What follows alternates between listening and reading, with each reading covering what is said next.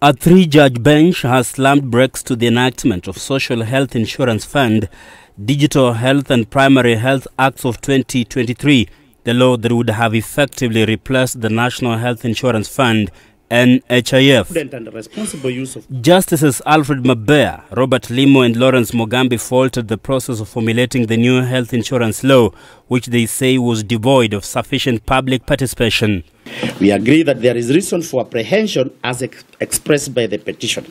This is so because the current section was introduced ignoring a key principle under Article 201A, which emphasizes on the need for openness, accountability, and public participation in financial matters. Further, the question that lingers in our minds is why was the new Section 38 introduced without the benefit of public participation? The court also took issue with the failure to consult and involved the Commission on Revenue Allocation in the process. There is no evidence to show that the Commission was consulted or invited to make any recommendations on the three impugned legislations. The bench further says some sections of the Act contravened the Constitution and wondered why the process was undertaken so hurriedly. The haste with which they were enacted infringed on the national values and principles of the Constitution.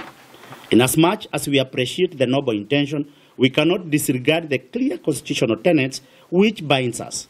Article 20 requires us to promote and protect the values that underlie an open and democratic society and the spirit, purpose and objects of the Bill of Rights. As a consequence, the court has directed Parliament to amend the Act in 120 days failure to which the program shall remain suspended until constitutional compliance is satisfied. Let Parliament undertake sensitization, adequate, reasonable, sufficient and inclusive public participation in, in accordance with the Constitution before enacting the said acts and amend the unconstitutional provisions in terms of this judgment. The program required all Kenyans above the age of 18 years to register with SHIF and the Minister of Health had rolled out mass registration on 1st of July. It was in the court's finding that the program had burdened a few individuals who were supposed to contribute 2.57% of their gross salaries to SHIF, thus creating disparity in the contribution.